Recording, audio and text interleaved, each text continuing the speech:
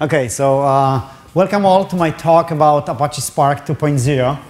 I'm Jacek Laskowski and I'm here to share my passion, love to you guys, to all of you, and to Apache Spark, okay?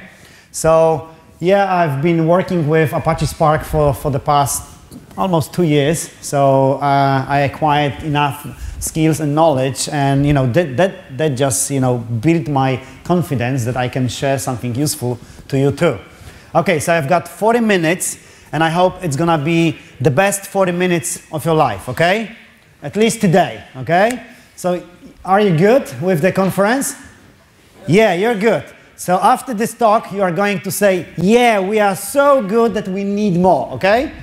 Okay, very good. So my talk is about how to use Apache Spark SQL 2.0 for your better or much better performance. Yes, I'm performing right now. So yeah, I hope uh, Spark SQL 2.0 will improve my performance too. Okay? But this is mostly about Spark, not me. Okay? So, welcome all again. This is Jacek Laskowski here. I'm independent consultant uh, working with a few other companies to help them get going with Apache Spark 2.0. Yes, 2.0. The latest and greatest uh, Spark release now is 2.0.2. Uh, so yeah, this is the, the, the, release we are going to use. Uh, you can contact me at this email you see on this slide, jacek at japila.pl, or just follow me on Twitter. If there is one or two things you need to remember after this talk, first is that you should follow me on Twitter. And so it's at Jacek Laskowski. And the other is that you should be using Spark 2.0 only. Because uh, if you are not, you are losing your time, okay?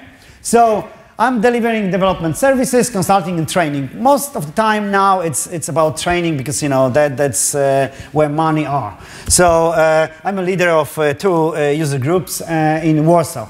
This is me and this is my GitHub with all the you know squares uh, um, green. This is my achievement for 2016. I did it, so I made my year. But the point is that I'm sharing this because all my presentations, all my slides, everything about Apache Spark, uh, I'm using to teach people to talk about uh, uh, Apache Spark is already public and it's under this Spark Workshop link. So you can go to this Spark Workshop here and click it and you will find this presentation. So just remember, github.com, Jacek Laskowski. Okay, very good. But uh, what I'm doing with Spark is I'm taking notes about what I can see uh, inside uh, or under the, the, the, the, the uh, behind the scenes of Apache Spark. So I'm reviewing the source code every day. Yes, every day. Uh, I didn't do this uh, today yet, but I, am gonna do this when I'm flying back to Warsaw today. But I'm taking notes and I'm trying to get the, the gist of why Spark is so cool these days. Okay? So if after this 40 minutes you are not sure why Spark is so cool and why you should be using it, please uh, let me know and let's, let's, let's share your doubts and concerns and I'm here to help you decide that Spark 2.0 is, is, uh, is what you need. And this GitHub is free of charge, so you can find 1,200 pages around this about uh, very deep knowledge about Apache Spark. So if you are not for the source code, you can just review this, uh, uh, the, these pages. I try to be less technical because, you know, after all, if you need to be uh, very in-depth into Spark, you need to see, uh, you need to review the code. Okay, that's all about me and what I'm doing with Apache Spark, okay? So hopefully you are confident that this is the place to learn about Apache Spark. If not yet, okay, this is the agenda. So our agenda is about what was cool before Spark 2.0, it was about data frames and schema because you know Pythonists they they have they had uh, or they they still have uh, pandas this library this cool libraries. Now we have it too. And the cool thing about data frames pre 2.0 is that they brought all the people on our platform, if I can assume that you are Scala developers, we are now together in the same team uh, with Pythonists and R people too. So three different groups are together. If I tell you that, if I say that SQL is supported too, we've got four different people in the same project using the same platform, Apache Spark. Okay, this is so cool. Okay, so, okay, so, okay, so data set, you know, he has his job too, right? So data set and encoders. So data frames were good, but they are not as good as data sets are now. Why? Because we, type-safe savvy people, people who are so obsessed with types, we need types. So dataset made our life as uh, Spark developers so much easier now. You will see why in a moment. Query, query, execution, then Catalyst Query Optimizer. Yeah, it's called Catalyst Query Optimizer, even though Catalyst is more general term, which you will see in a moment. But it's very catchy, so you can use it and, you know, just to, you know, uh, um, improve uh, your, your, your audience. And the last but not least, how to debug your query executions. It might not be obvious how to do it, especially in distributed environment called Spark, but as you will see, it's pretty easy. Uh, well, you need to learn some, some things uh, to get going, but still, it's, it's, it's, it's fairly easy. Okay, so data frames, what are they? So pre 2.0 now, okay? So this is, we are showing our age. If you know what I'm talking about, data frames, it's, you know, you, you spend your time with uh, Spark, but now you should almost, you are impressed, yeah, Igor? Ah, yeah, yeah.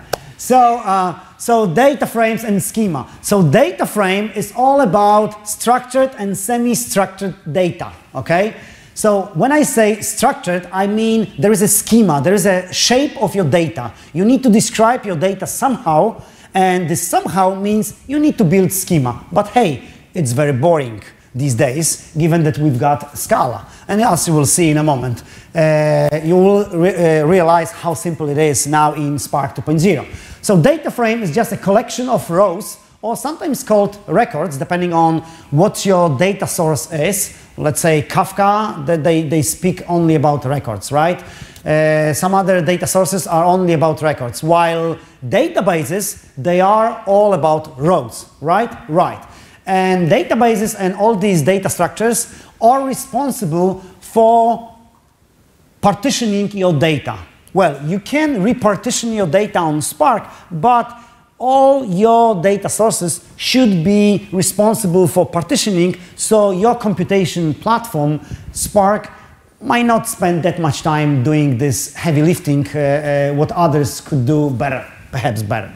So, data frames are collection of rows, but I said that they describe structured, structured data sets. So the structured data sets are described by schema. Schema is just a description of your data, okay? So when I say your data, think about how this data looks like.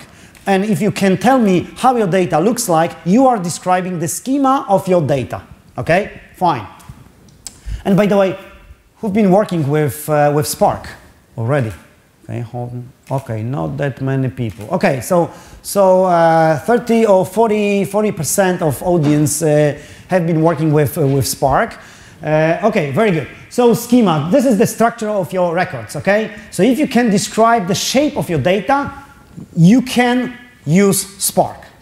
So yeah, we could spend some time with data frames uh, and, and, you know switching to, to my to my notes. But the point to remember is if you worked with Spark 2.0, please note that data frame is now a type alias for data set of rows. And it's not very helpful for Scala developers. Uh, when I say not much helpful, because row is almost unstructured. Uh, this is something that Scala compiler can't help you with that much comparing to what I'm gonna show you now. So this is what made Spark 2.0 so cool these days, okay? So data sets. they are strongly typed data abstractions. They describe your data through something that's called encoder. Encoder is responsible, this is a very little guy who is responsible for serializing and deserializing your data.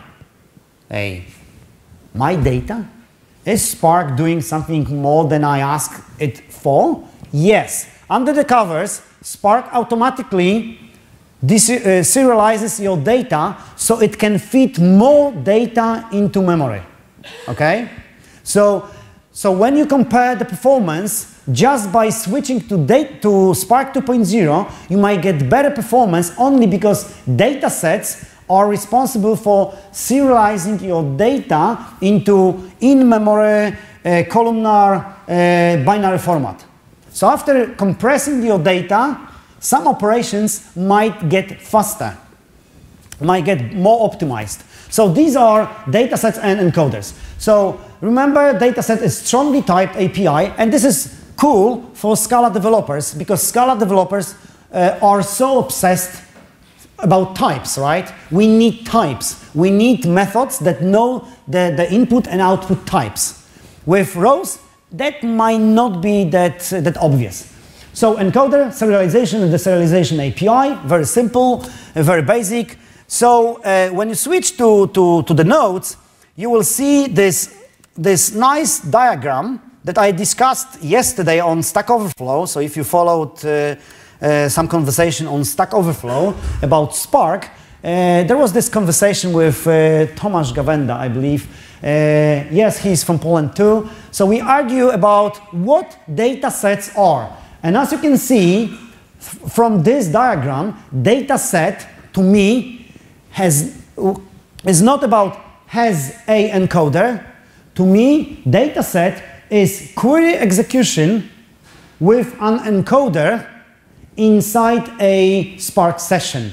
So for me now, after spending you know uh, enough time to build my own view of what I'm what I'm uh, what I'm um, reviewing, what I'm observing, I say that dataset is a tuple or tuple, whatever you pronounce it. So tuple of three entities: encoder, query execution, and Spark session. This Spark session is something new in Spark 2.0. And it's very important because you may get different results per Spark session. What? Can I have different Spark sessions and have the same data set and when I execute this data set I can have different results? Yes. That's exactly what I said. Why?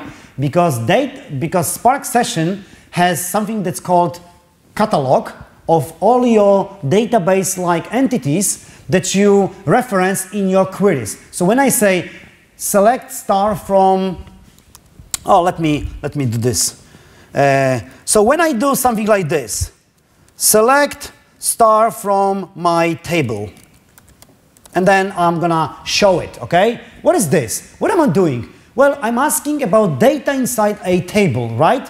But hey, where's the table? Is this a database table? Is it a Kafka topic, perhaps? Is this a kind of a queue? You don't know, and you don't have to know it. It's abstracted away from the physical placement, so all you know, you know that you need data from my table, okay? That's it. So when I execute it, it's gonna fail because I've never registered my table, I believe. Yeah, so you will get this nice looking stack trace uh, that's gonna that, that's supposed to tell you, if you scroll up, that this table of view is not or could not be found, okay? Could not be found. Could not have been found. Ah, much better now. Okay, so this is dataset. So just remember, we've got this nice looking data abstraction, okay? So we've got this concept of encoders, query execution, and Spark session. Okay, very good. So that's all about this. So encoders. Every every data set has an encoder, every. So for some people, data set is an encoder. And you know what? When I say encoder, you, are, you, you might got impressed by hearing this, this, you know, this nice, cool name. But hey, for Scala developers, this encoder is nothing more than case class. Why? Because case class can describe your data so easy in Spark, in Scala. And since I assume that we are all Spark, Spark developers using Scala, we know it's so easy. And look at this. If I, if I do something like this, case class person, uh, let me do this because I know that uh, it might not be that visible. Okay, so case class person, yeah, it's boring. After, after some time you say, well, Spark development is so boring these days. Yes, this is the aim of, of, of using Spark. The more, the more you bored by using Spark, the better, because you will spend less time doing what you had to do with Akka, with other toolkits that might be useful, but not necessarily for what you can do right away from, did I lose my voice? Yeah, the microphone lost its voice. Oh yeah. Okay, very good. No, oh, that's gonna be tricky. Okay, uh, yeah, yeah, yeah. So, uh, let them, uh, wait, wait, wait, because, you know, I use my, my boat to, wh which one is this? Okay, oh my, I, I'm so wired these days. Yeah, I am connected to the internet, I'm talking to you guys, and then I'm wired, uh, no, no, no, just, just press it. Press this button, and, and then, yep. That should work, yep. Okay, and then, okay, I can do it. Okay, very good. Very good, very good. So uh, I'm good? No, I'm not. Okay, no. Okay, okay, good. So this way I earn additional 10 minutes. Thank you. So, case class. Uh, I've got so much talk, uh, so much to, to share with you about Apache Spark that, that I need, you know, I need this 10 minutes extra. So you've got this case class person ID and yeah, it's not gonna work. Okay, so we've got this ID long. Now I know why my wife, you know, told me about, you know, this, uh, this, this, this, uh, this sheet. So it's, it's very, very handy. Okay, so, uh, so ID long and what else? Well, name, right? So we've got this nice looking data abstraction. Can we use it to describe our data? Well, our life couldn't be, have been easier with Spark 2.0. Look at this. When I do something like encoders, but I, I, am I'm, I'm, I'm, I'm cheating a little bit because, you know, I, am I'm, okay, I, I'm not. So, org, Apache, Spark, SQL, and that's it. Once you import this package, you get something like encoders package, and you can build from person schema which took you some time or which might have uh, taken much more time when you uh, created this uh, schema in pre 2.0. Okay? So that's that easy. Now we can describe our data Spark way. Okay? So as you can see, this is very easy. Okay, so that's pretty much all you need to know about encoders. So query execution. This is where fun begins. Okay? So Przemek can't believe that, you know, this is so simple in, in Spark 2.0, right? Yeah, it's like, oh my, okay, so now I, am gonna spend, you know, just one day for my project that I, I just scheduled for two weeks? No, can't believe it. What am I gonna do for, for you know, for the, for the other days? Anyway, okay, yeah, there is more to explore. So, query execution. So, query execution is about knowing how your query is executed, executed under covers by Spark. And Spark is like a database. Yes, it's like a database. This brilliant, this brilliant, smart people, Holden including, they created this freaking nice platform and they, they borrowed all the theory about databases behind the scenes of Spark. So now they, they encourage me to learn all the low-level details about databases because I need to explore Spark. So I need to understand why Spark works the way it works, right? So I need to know how databases work. And you know what? What databases are doing with your SQL, they first parse your SQL, right? and they build just like a compiler. That's why some people say that Spark is a compiler. It's compiler of your queries because first, when you execute something simple like this, ah, that's gonna be tricky. Okay. How am I look? okay. So, uh, okay, so let me do something like this, and I'm pretty sure that you know what I'm doing. I don't need to, I, need, I don't need to explain it, right? It just show all the tables that are already registered, all the permanent tables, all the temporary tables, all the views. This is database? Yeah, yeah, yeah, this is database without storage. How could it be? Well, all is in, in memory. If it's not, Spark will load it to memory and will give you this nice looking SQL interface. Look at this. Show all the tables that you've got under the covers. Come on, what are you doing? You should be prepared already. Come on, what's this? Oh my, it's something with the network? No, I can't, I can't believe it. Okay, so let me control C, because I, I, yes, this is something with the network because I changed it. So let me start Spark Shell again. So you'll see that I'm not doing anything extra other than just rebooting my, my session. It's just when you are working with Windows, you got used to it. So, so show tables. It should be much, much quicker now, okay, you see. So, because under the covers there is communication over the wire, so since I switched my interface, you know, there, there is, uh, you know, misconfiguration. So, this is all my tables, right? These are all my tables. Come on, but who's gonna use this SQL? It's not about this SQL, right? You, we need, we are better than SQL, right? We are better than SQL developers. We are Spark Scala developers. So let's use the real language to execute our queries. Let's do this. So how to query for all the tables? Well, it's that easy. Give me catalog. All the information is under this catalog. There are two catalogs in Spark. There's in-memory and Hive. By default, it's Hive-based. So catalog and list tables. I've got all the tables, and now, oh, let's show it. This is freaking good, huh? You see? That looks like a pipeline, like a CQRS pipeline. Perhaps under the covers there is the event store or something like this. No, no, no, I'm kidding. But, you know, it looks much easier to your eyes, to your Scala eyes.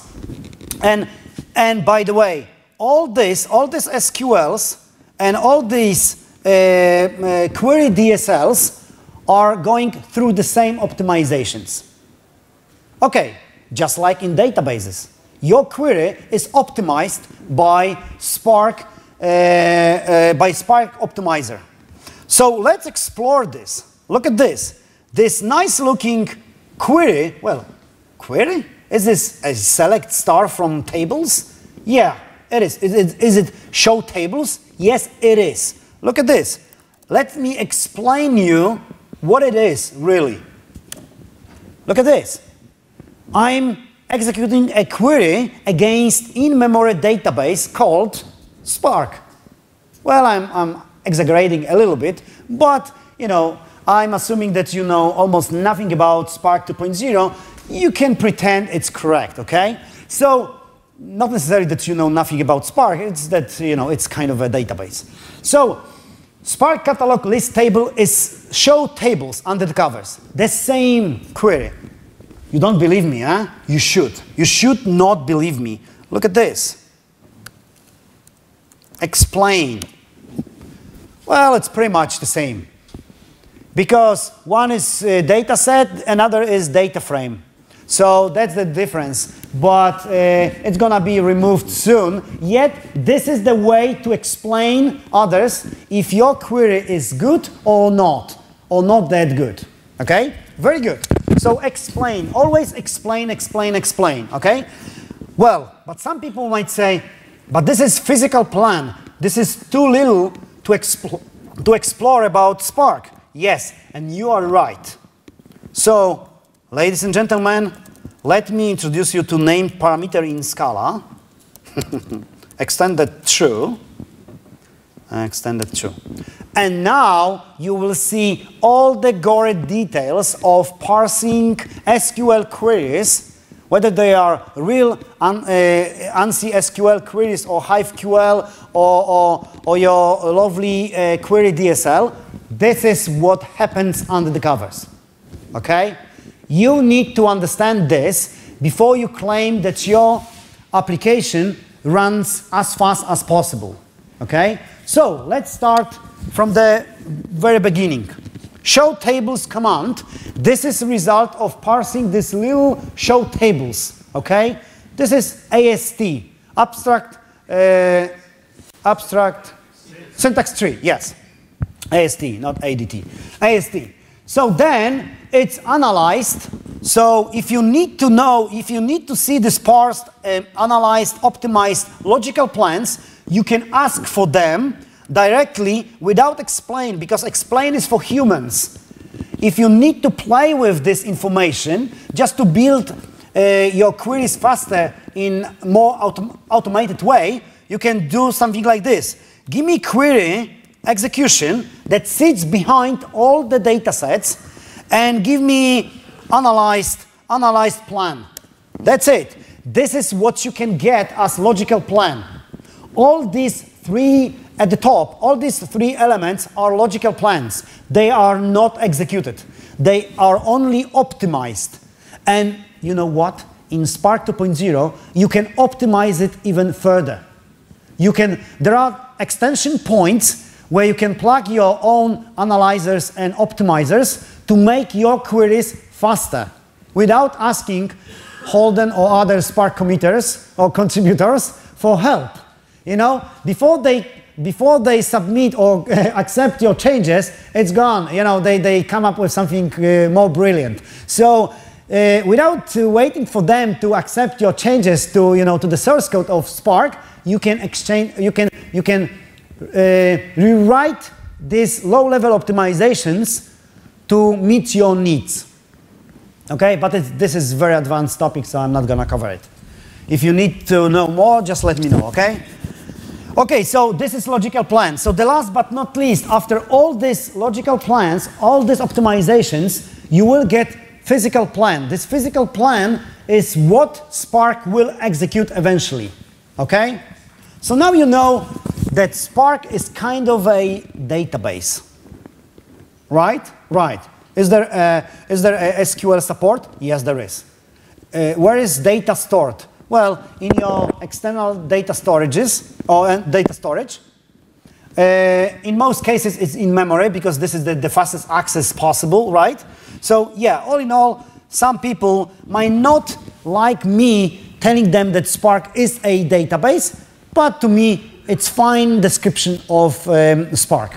So logical query plan is just logical representation of a structured query, okay? Then after all this optimization, analysis and optimizations, you will get this something that's called physical execution plan, also known under the covers, it's Spark plan. So if you are into Spark code, if you need to see the code that's responsible for this physical plan, you will see Spark plan. And you know what? Took me a while to realize that Spark plan is operator. It's just top level operator that's going to be executed the last as a result of you describing something more sophisticated than just one top level operator. So this is tree, this is directed tree, this is just a graph of, you know, this is tree, yeah, this is tree with one top level operator. So for some people, me including, that might be somehow hard to understand. So you are describing your query plan through an operator that's the last operator to execute. Okay? Very good. So use dataset explain because that's where you can find all the niceties about how Spark optimizes your query. How much time do I have? You have four, five minutes. Five minutes. Before I start, you mean? You can take 10. Okay, I can 10, 10, 10 plus 5, 15. Oh, thank you. So, we've got 10 minutes. Okay, hope you, you, you don't mind uh, you know, spending 10 more minutes, okay? So, Catalyst Query Optimizer. This is the guy who is responsible for optimizations, okay? It's called Catalyst, but know that Catalyst is something more broad. Catalyst is tree manipulation framework built few years ago just for this, for this query, uh, query plans, logical and execution plans, okay? So if you need to know more, just follow the, follow the instructions, just click, switch to mastering Apache Spark and you will know more. So, what's wrong with this code? You are now Spark Optimizer. You are trying to understand what this crazy guy, Jacek, developed, and you are trying to optimize it, right? Right. And it's easy to spot that I only need one record. So this nice looking query only asks for one record, for zero, right? Right. Unless I'm mistaken. Yeah. So without you knowing much about you know, this query, you might guess that at the end I'm filtering everything that, that, that matches zero, right? Right. So you need only one record. If it exists, it might not, right? It's not about zero position. It's about record that holds number zero. That might be none. So how can we know whether our query should execute and how long? Well, Spark will know. Spark will know because you do explain, and look at this. This is your simple query that's not necessarily optimized as much as I wished. In Spark 2.0, data sets might be so nice to use for Scala developers, but might not be that optimized as data frames are. Be careful with what you're doing in your Scala code, okay? So, although Spark 2.0 is all about data sets and about type safety. Data frames might give you better performance. Compared to it, what's wrong with this code? This is the same code, but written using data frame, data frame, not type safe API. Okay? So that's what you were so into uh, pre 2.0, okay? Spark pre 2.0. So compiler, Scala compiler couldn't check much because there was this tick. And by the way, did you know that uh, tick in Scala it's for symbols? Okay, I didn't. I just learned it uh, by reviewing some, some Scala code uh, for, in Spark, and I just realized that this tick, there is implicit conversion between this tick to column, so you will get this nice column abstraction. And look at this. If you remembered what I showed you on the previous slide, you will see that this is that might be more optimized uh, for this particular query, for this particular simple query. Oh yeah, I know that you didn't remember, so I'm gonna compare them. So what's wrong? Look at them. What's better, the top or the bottom? What do you think? Just guess. 50% you know, success, right? so classification. So bottom or top? Bottom. Bottom. Why? Why?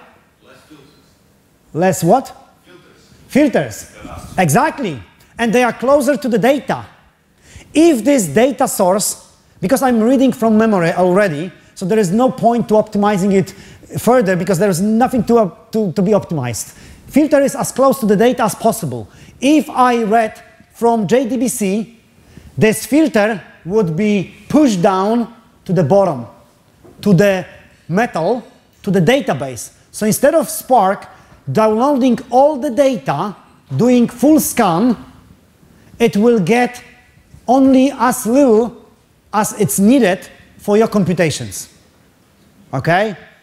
So filter should be as, as, as low as possible. So this, this lower, and look at this deserialize. Have you seen this deserialize to object? This is very dangerous place. This is where Spark deserializes in memory columnar uh, binary format into something that human would appreciate, would see something. But machines don't need them, they don't need this information. So the, the, the, the, the less often you deserialize your data, the better. Okay, so as you can see, just very simple query, and we could discuss all the niceties of Spark optimizations for the next one hour. And we've got only half an hour. Half an hour. Okay, we've got half an hour then. gotcha. Okay, the last but not least, this is my sli last slide. Uh, don't worry. Okay, it's, it's over. So, debugging query execution. If you are really into what's going on under the covers of Spark 2.0, you need to explore this package. This package is about low-level details, and please don't tell your mom that you are doing it. Okay? So use with caution because that might hurt, hurt your time, your free time, if you've got something left. I'm pretty sure that if you are into code, if you see more code, you would say, I'm gonna review it. I'm gonna be much, much better than others using Spark, right? Oh, and then you will spoil your free time, your Christmas, because you will wanna know more and more and more. Okay, it's gonna take you month or months. Okay, so let me show you this little, little where, okay? So this little where is about, remember this, this, this little show tables. Let's see about this explain. Explain is very simple. It's not code gen, so let's explore this debug. So let me uh, copy it is execution. Okay. So org, Apache, Spark, SQL, execution, and debug. Yep, debug, debug. Very good. So I've got my debug imported, and only when you do it, you will have extension methods or you know some some some implicits available for your debug. So look at this, your debug and you will see all the statistic uh, behind your query. But this is not very sophisticated. Much sophisticated is something like this. When you do something like Spark range, Spark range 5, then you group by ID uh, by 2, very good, and then AGG, yeah, AGG is cool. So AGG is cool and AGG count by ID. I hope it's gonna work. Yeah, it did. Very good. So what I did, I, I had my input Spark 5 records data set and I grouped by and then I counted all the records per group, right? Right. So let's see what's the execution plan. Look, you see? And notice these stars. These stars are so cool. The more stars, the better. Yeah, it's like me and those stars. So, those stars are about code gen execution. You will see the source code when you do this. Be careful, don't use it at home. Debug code gen. Code gen is the very low level code auto-generated by Spark that Spark will execute for you to give you much better performance. And guess what's the language they picked for the best performance? Sorry? Java. It's not Scala. I apologize. It's not Python either. So look at this. This is the entire code that's going to be executed for you and you know what? It's the code you wrote 10 years ago. It's very basic, very, very effective because all the machines understand 10 years ago code of yours because you, you've never used this, you know, crazy monad-like operations with these other crazy abstractions. You just use filters, these ifs, and while loops. This is something that machines can optimize much, much better. Access to the memory is more effective, so Spark developers decided to offer you this code for free for Christmas, as, as a Christmas gift. So if you needed something nice, you've got it for free now, okay? You don't need to wait. So Black Friday is over. No, not for us. This is your Black Friday, okay? Okay, very good. You see, Black Friday black Java code. This is all you can explore to understand Spark. And this is all I meant to share. So you learned about Spark 2.0, data frames, data sets, and encoders, query execution, all the optimizations, and how to know more. If you need to know more, ask questions. That's all about Spark 2.0, about me. So, applause first.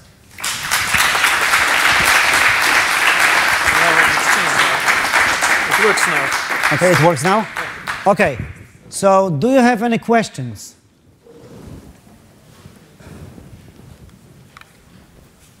Yeah, I can imagine. This is so simple. Nothing, nothing to ask about, right? Yeah, I, I, I can imagine. Spark 2.0 is so basic that Akka, comparing to Spark, is nowhere close. Believe me. You know, people are wasting their time doing this using Akka. Yeah, I, I'm not against this. You know, they've got enough time. I'm too old for this. I can use Spark because Spark is just right under my finger, finger uh, fingers by doing this little, this is Scala REPL after all. This is your lovely Scala REPL, so you can use it. So any questions? Yeah, I'm kidding, huh? No questions, obvious, obvious stuff. So nothing else. Oh yeah, Przemek, dzięki. One, one question. If one uh, hasn't uh, even started uh, with, with Spark, what is the minimum time that you can uh, get started in a REP? Okay, one minute. really? Who did ask this? How long, time to set up the? I love such questions. Look at this. Count the time. One minute, right? Okay, one minute and a half. I need to work on with this. Look at this. You go to Spark Apache org. You click download. Change nothing. Click this. Spark 2.0. Download it. It might take more than one minute depending on your internet connection. But let's assume it's, it's gonna take five seconds, okay? When you get when you get this TGZ, you know how to do it? It, right? So tar minus xz xzvf, right? That's it, done. You've got your package. And once you have it, you've got this. So this is my installation. You've got this, and you do this. Spark shell. Okay, done. Okay, so Cool. Ah, I like it. Thank you. So what is your data source and uh, where is the output stored? Output store, memory. Uh, all the data that I'm gonna uh, interact with, they are right under this. Spark, read. You wanna read CSV or JSON or JDBC? JSON. JSON. Very good. People JSON is fine? Okay, very good. I've got no uh, people JSON on my hard drive, you can imagine, but this is this. So I've got this error message, path does not exist. That's it. Any other questions? Uh, so, uh, sorry, and the output? Out, oh, you've got your output. Yeah. Okay, okay, so, so show, show, let me show you CSV, okay? Let's trade JSON for CSV. I've got my people CSV. Uh, I, am using it. It's only Jacek, okay? Okay, I apologize. Przemek is gonna be here too. So, Przemek.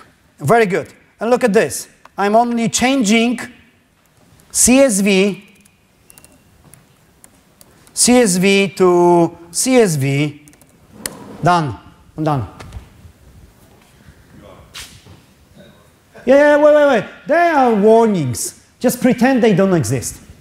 Okay, so uh, I, we got output on the screen, but uh, if I wanted to have it in a file, Okay. Any more, more harder questions, please? You know, it's, it's, it's, it's getting boring, you know, more boring and, you know. Eh, oh, let's save it as, as JSON, okay? Okay, let's, let's have it. Done. Done. Anything else? Okay, Spark is so easy. And you know what? That was batch. But you can now use structured streaming, and structured streaming is even cooler. And you know what? You need to change one thing. Well, pretty much. Format CSV and read stream. And read stream and write stream. And that should work. Let's see. Oh no, it won't work because data, uh, because schema is not uh, is not defined. Well, uh, format read stream, uh, read stream. Ah, it's not here. Come on, guys, you know it. It's here. Ah, no schema, right? Because not a member of data stream writer CSV format. Ah, write stream, not write stream. Okay, something like this. So uh, since I'm, you know, uh, I don't want to spoil the moment, this is that simple. Okay, so one minute, just one minute, you can change it, but be careful, Spark streaming is not production ready yet, it's alpha, so, so you need to be careful, yet uh, it's, it's quite easy. So this is Spark, okay? Thank you so much. Applause again.